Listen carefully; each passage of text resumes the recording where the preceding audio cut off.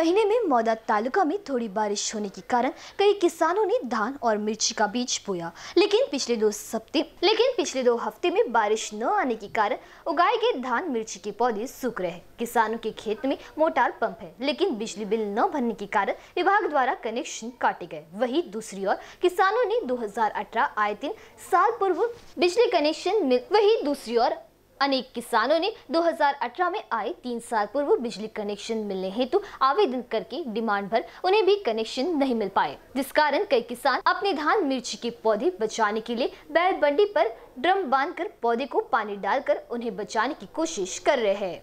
मी धानला रहिवासी विनोद हटवार, छोटंसं माझी शेती तीन एकर असून त्यामध्ये मी धान आणि मिरचीच्या रोपाची पेरणी केलेली आहे. परंतु पावसाअभावी आज माझ्या पीक सुकत आहे.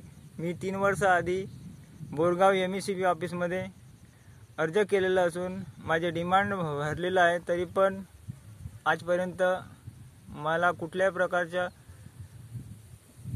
ऑफिसकडून वीज जोडणीचा संदेश आलेला नाही आणि त्यामुळे मला गुंडांनी खूप दूरवरून गावातून पाणी या पिकासाठी गुंडाने आणावं लागते आणि त्यामुळे माझ्यावरती आर्थिक संकट आलेलं आहे. तरी पण आपण वरील अधिकारी याबद्दल माझी या शेतकऱ्याची विनंती ऐकून माझ्या शेतातील पंपाला वीज जोडणी कराल ही आग्रहाची विनंती. बीसीएन न्यूज़ के लिए मौदा से संजय गिरडे की रिपोर्ट।